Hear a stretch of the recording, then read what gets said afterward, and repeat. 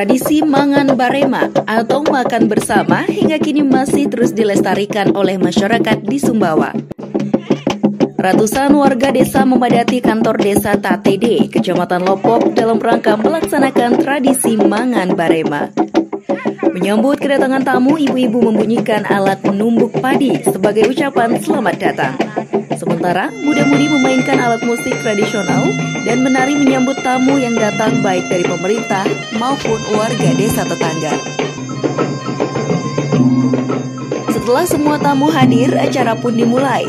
Puluhan ibu-ibu dengan membawa aneka makanan dari hasil bumi yang dibawa di atas kepala berbaris diiringi alunan rebana dan solawat Nabi berjalan kaki menuju lokasi Mangan Barema.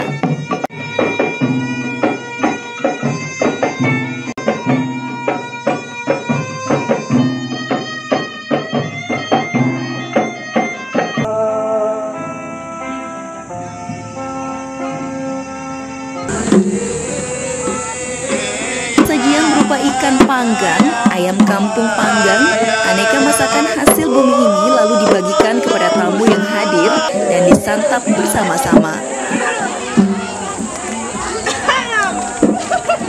Subadri, Kepala Desa Tatede, mengatakan tradisi mangan barema ini rutin digelar di desanya agar tradisi yang telah ada sejak dahulu ini tidak punah dan tetap lestari.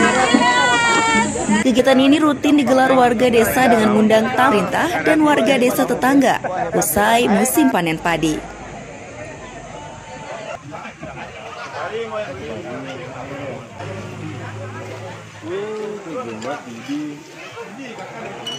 Rutinitas yang diselenggarakan eh, di Desa Tatede ini, ini adalah uh, acara Mangan Barma, di mana adalah bentuk uh, syukur masyarakat Desa Tatede terhadap hasil jadi apa hasil pertanian yang mereka dapatkan. Jadi sebagai bentuk puji syukur terhadap Allah Subhanahu wa taala dan juga adalah bentuk kebersamaan mereka di uh, dalam bermasyarakat.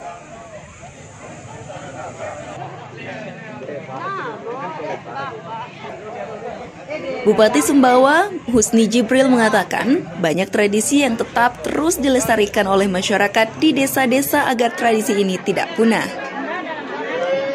Makan bersama atau mangan barema ini memiliki makna kebersamaan dan memupuk tali silaturahmi masyarakat serta rasa syukur masyarakat akan hasil panen padi dan hasil bumi mereka.